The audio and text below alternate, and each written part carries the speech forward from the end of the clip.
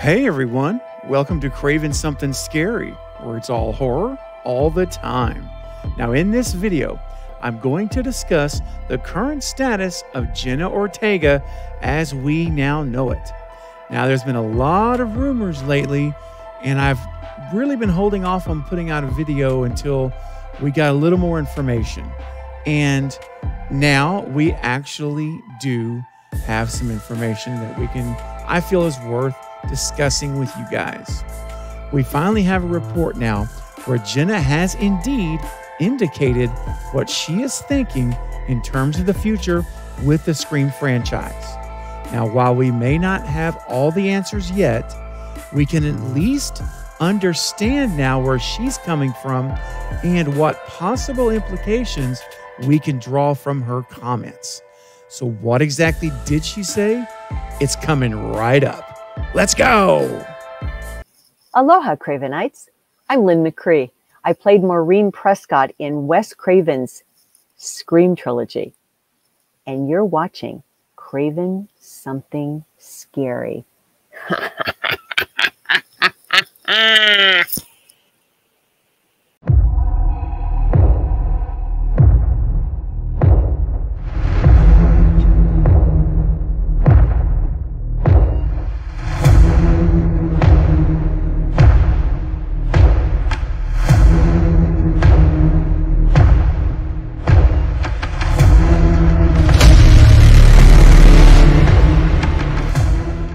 So, the Direct has reported this information, and I will be including some of their commentary during the video.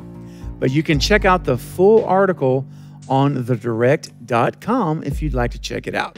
All right, the headline reads Jenna Ortega's Scream 7 return gets promising update. Now, it goes on to say that according to the Wrap, Jenna Ortega is committed to Scream 7 despite her busy schedule. All right, now that's what we know now she has come on record and said.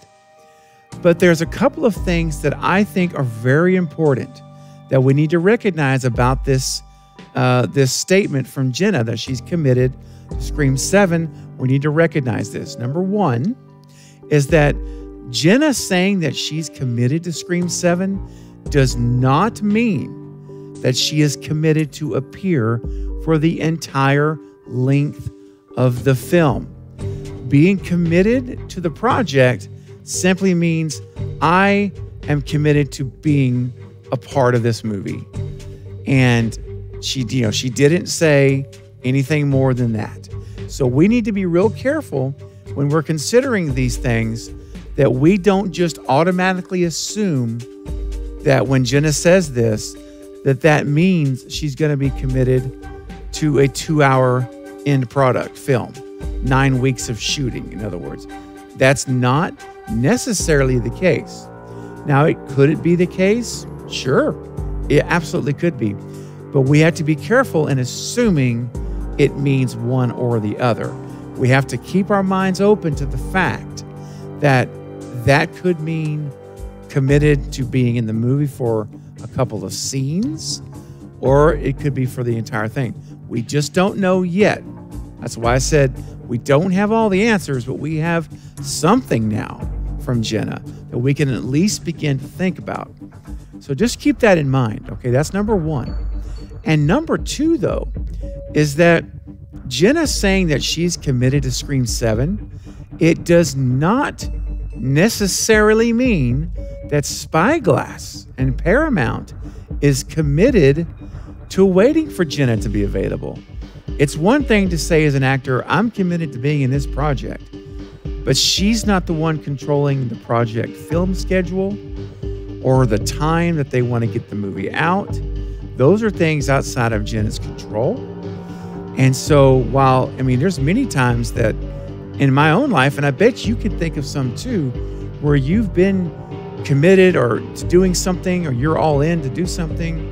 Uh, but you know what? There wasn't room for you at the end of the day. Things happen because it's not all in your own control.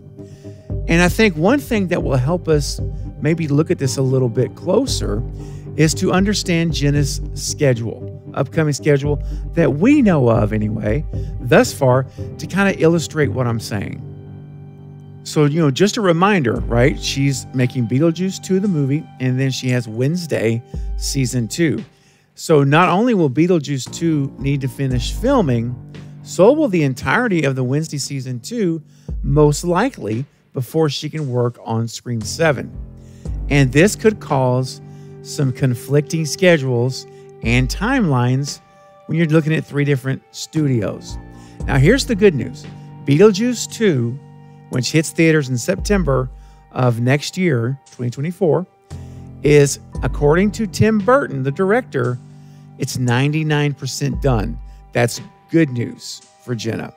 However, Wednesday season two has yet to begin filming. No filming's been done, guys. And according to Netflix, it's on, quote, top of the mind for them. And once the strike ends, once the sex strike ends and is all over, they're going to be getting on it quickly. So, where does that put Scream 7 in relation to Wednesday season 2? Well, if Scream 7 wants Jenna Ortega it's very possible that they will have to wait for her filming to be completed on Wednesday, season two. Now, if that's the case, just to put it in perspective, Wednesday, season one was filmed for seven months. So Ortega's schedule, in theory, may not open up until the middle of 2024, unless her role is cut way down in Scream 7, and she could film like on her off days to get her shots filmed for the movie. So it could be that it's more likely if Spyglass and Paramount are, and all indications are, they want to move quickly on Scream 7, that they want this movie out by the end of 2024 and if that is indeed the case, and they're to not, and they're not backing off of that time frame, then we're looking very possibly more likely at a limited role of Jenna in the movie as Tara.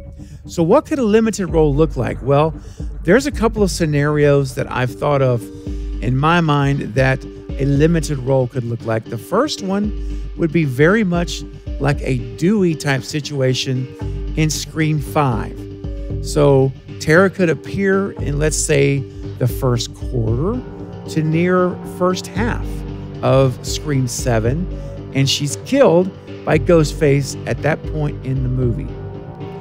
So now you've got Sam and Chad both out to avenge her death in the second half of the movie, and of course, catch Ghostface. And there's all kinds of, you know, intense storylines you could write for them for the rest of the movie.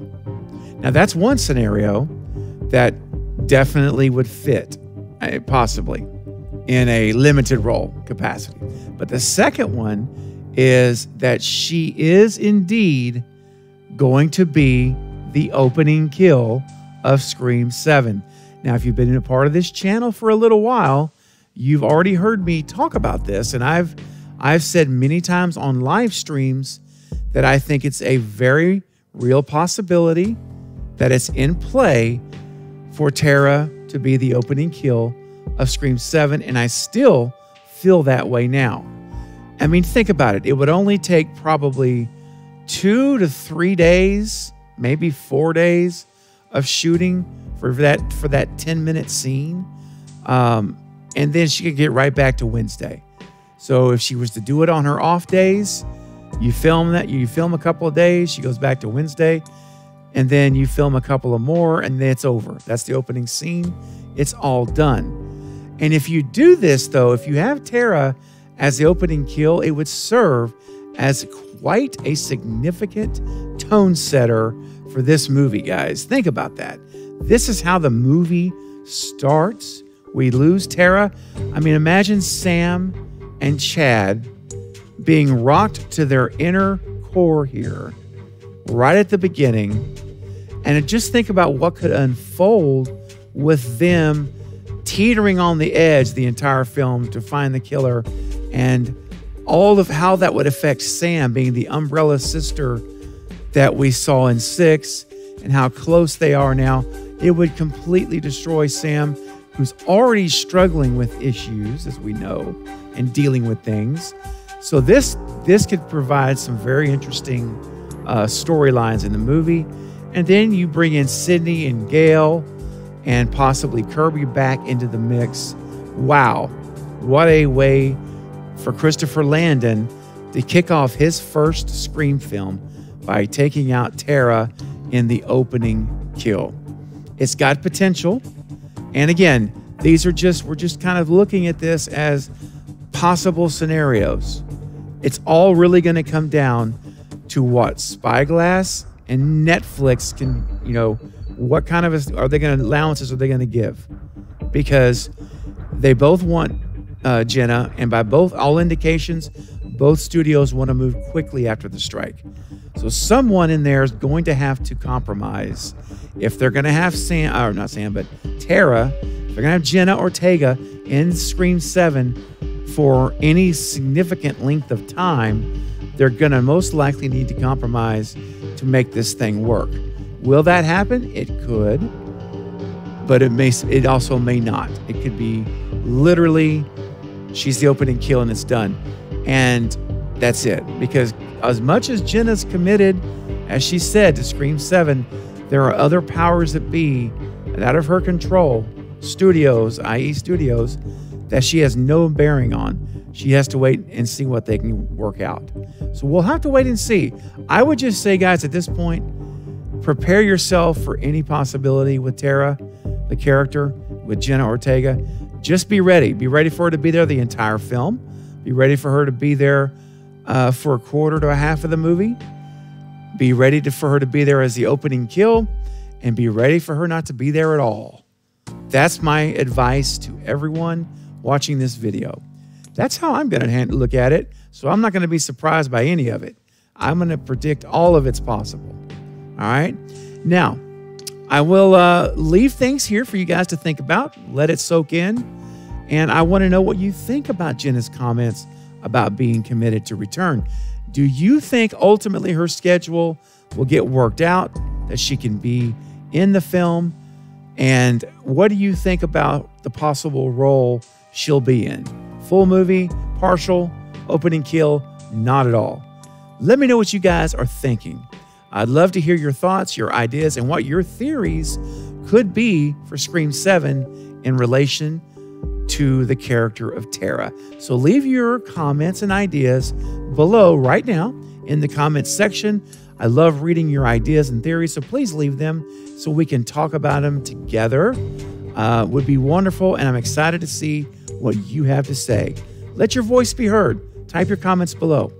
Well, guys, that's it for this update, but I'll be back soon with more Scream and other horror movie content. Don't forget to like and subscribe. And until next time, this is Craven Something Scary, where it's all horror all the time. Thanks for watching, guys.